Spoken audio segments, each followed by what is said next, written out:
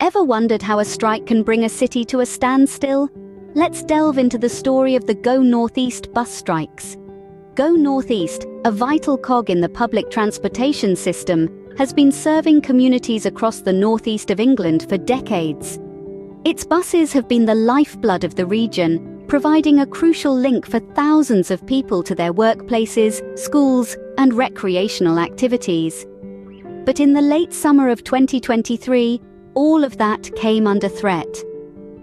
Towards the end of September, a cloud of discontent began to gather over Go North East.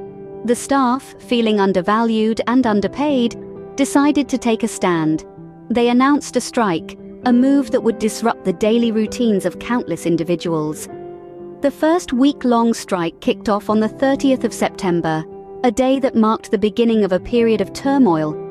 Drivers swapped their steering wheels for placards, their bus lanes for picket lines. The reaction among the staff was a mix of solidarity and apprehension.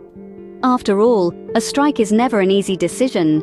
It's a sacrifice, a bold statement of defiance, a plea for fair treatment. And what about the customers, the everyday people who relied on these buses? They found themselves caught in the middle of this industrial dispute.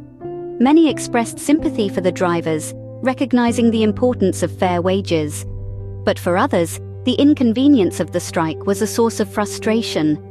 The daily commute turned into a daily struggle as people scrambled to find alternative modes of transport. The initial impact of the strike on public transportation was significant. Bus routes were left deserted, bus stops became mere landmarks rather than bustling hubs of activity. The city's rhythm was disrupted, its pulse irregular, but this was merely the first act in a drama that was still unfolding. The end of the first week brought no resolution, only a deepening sense of uncertainty. The wheels of the buses had stopped turning, but the wheels of the dispute were only just beginning to spin. As the first week of the strike came to a close, Little did anyone know this was just the beginning. Week two brought more unrest, further exacerbating the problem. The second week-long strike, spanning from the 14th to the 20th of October, saw a swell in discontent among both staff and customers alike. The once orderly lines at bus stops transformed into frustratingly long waits, and the bustle of the city seemed to grind to a slower pace. Union members, stubborn in their resolve, voiced their concerns loudly. Statements echoed across the city, a chorus of dissatisfaction.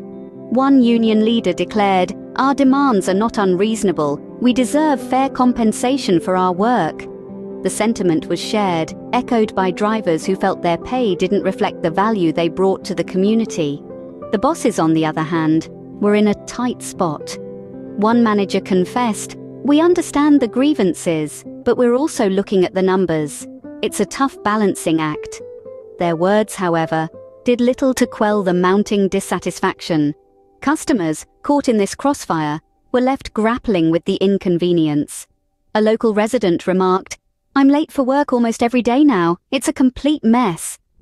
Their daily routines disrupted. The public was growing increasingly frustrated with the situation the city, once thriving with the rhythm of routine, now found itself in a state of disruption. The regular hum of buses became a rare sound, replaced by the echo of disgruntled voices and blaring car horns. The strike was more than just an industrial action. It was a ripple effect that touched every corner of the city. Struggling businesses, late employees, frustrated students, all were casualties of this escalating situation. The city's pulse was irregular, its rhythm disrupted. The lifeblood of the city, its public transportation was under siege, and the entire city felt the pinch. Yet amidst the chaos and discontent, there was a glimmer of hope. A sense of community began to emerge. Strangers offered rides to those stranded, and local businesses started delivery services to help those unable to travel. The city was adapting, but the question remained, how long could this go on? The situation was escalating, and the city was feeling the pinch. Defiance took center stage as the staff rejected an insulting pay offer, leading to an unprecedented 12-week strike. This decision, made on the 28th of October 2023, echoed the sentiments of the staff who had reached their breaking point. It was a decision that would ripple across the company, its customers, and the city itself. To the staff, it was a stand for dignity and fair compensation. They had been enduring long hours, challenging conditions, and now a pay offer that failed to meet their expectations. The drivers, the lifeblood of the service, spoke out. One driver put it this way We're not just driving buses, we're keeping the city moving. We deserve a pay that reflects that. The union backed their members firmly. The union representative stated, This is about more than pay. It's about respect, recognition, and the right to a decent living wage. We stand with our members in this fight. Yet, the defiant stand also meant disruption for the customers. Commuting became a daily challenge. The buses, once reliable and frequent, were now sporadic at best. A regular commuter voiced her frustration. I rely on the buses to get to work. It's been a nightmare. I support the drivers, but we, the public, are caught in the middle. The company found itself in a tough position. The cost of the strike was mounting, and the reputation of the service was on the line. The CEO expressed his concern. We understand the frustration of our staff, but this strike is causing significant financial strain. We're doing everything we can to reach a fair resolution. Yet, amidst the chaos, there was a glimmer of hope. The city was adapting, finding new ways to keep moving. Carpooling initiatives sprung up, and people found solidarity in shared struggle. The city was in the grip of the strike, but a resolution was on the horizon. The tide began to turn in early November as some services resumed, signaling a shift in the impasse. After weeks of silence on the streets, the first echoes of bus engines broke the quiet on the 7th of November, 2023. The decision to resume some services was not a total solution, but it was a start. School contracts were the first to get back on track. The sight of yellow buses chugging along their routes was a comforting symbol of normality for many. The ferry service also recommenced, providing a lifeline for those cut off by the strike.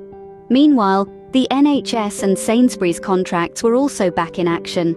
The rumble of the buses was more than just noise, it was a sign that progress was being made. The impact of this was palpable. The silent streets were slowly starting to hum with life again. But the city was not out of the woods yet. On the 8th of November, a skeleton service was introduced. Buses were now running every 30 to 60 minutes. It wasn't the full service the city was used to, but it was a lifeline for those who had no other means of transportation. The skeleton service was a turning point. It wasn't perfect, but it was a step in the right direction. It was a sign that both sides were willing to compromise, to find a way forward. It was a sign that there was light at the end of the tunnel. The city started to breathe again. The tension that had hung in the air started to lift. Commuters began to plan their journeys. People started to go about their daily lives. And the city began to move again. The skeleton service was more than just buses running on a reduced schedule.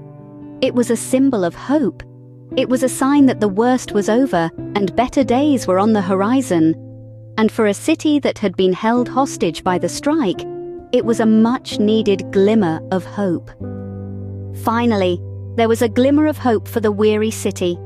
As normal service resumed on the 2nd of December 2023, the city breathed a sigh of relief. The clatter of bus engines, the chime of stop requests, the chatter of daily commuters, these familiar sounds once again filled the streets, marking the end of a tumultuous period in public transport history. The 12 week strike, which had only lasted five thanks to a deal agreed upon in early December, had left a significant mark. The cost was not just monetary, although the estimated figure hovered around a staggering £5 million. The cost was also in the daily routines disrupted, the relationships strained, and the trust that needed to be rebuilt. For bosses, the strike served as a costly reminder of the importance of fair wage negotiations. The insulting pay offer that sparked the extended strike was a misstep they were keen not to repeat. In the aftermath, there was a renewed commitment to open dialogue and fair treatment. Union members, drivers, and other staff members, on the other hand, felt a sense of triumph. Their collective action had led to change. It was a tough fight, but they emerged from it with a stronger sense of unity and a profound belief in their power to effect change. The general public, inconvenienced though they were, largely expressed understanding. They recognized the right to fair pay and better working conditions. As buses started running again, there was a sense of returning normalcy, but also a newfound respect for the people who drove them to work, school, and everywhere in between. The aftermath of the strikes was a time of reflection.